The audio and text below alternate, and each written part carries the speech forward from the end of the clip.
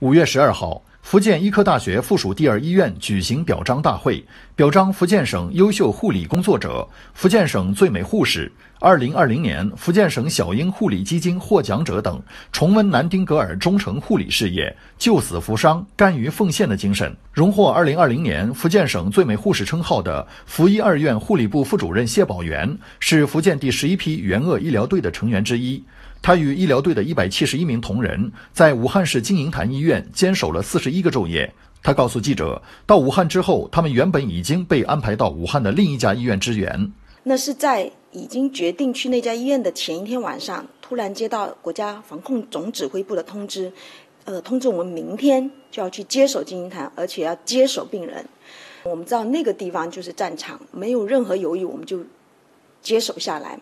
但是对我们来说，那是一个我们从来没去过的地方，而且我想大家都知道，武汉市武武汉市金坛医院是我们整个国家新冠肺炎疫情的暴风眼，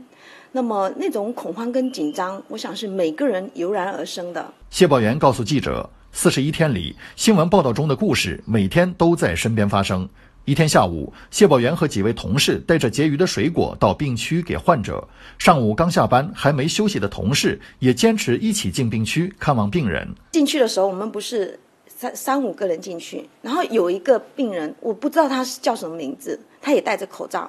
他首先避让我们走到走廊的那边去。你知道，我那一刻我真的是想哭，因为他觉得他是有带有传染性的，然后他自己躲避我们。其实，其实我觉得他是。不想连累我们，我我现在想起来还是有点难受。还有看到一个老爷子，花白的头发，很乐观。后来我才知道他其实很焦虑，晚上都睡不着。看到我们都一直跟我们说：“哎呀，你们来了，你们来了。”然后他说：“哎呀，叔叔你怎么早上下班怎么下午又来了？”所以那时候又很打动到我的是，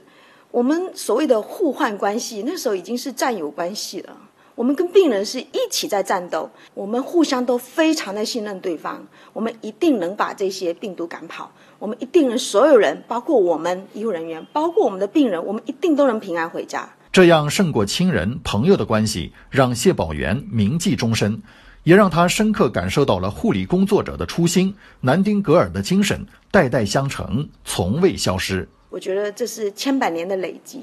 哦，奇葩护理应该是两百年的累积，代代相承。南丁格尔从他设立这个职业的初心，我觉得是传承了这样的一个战役，其实是加深了我们自己的认知，也加深了全社会对我们的认知。我觉得这是最大最大的收获。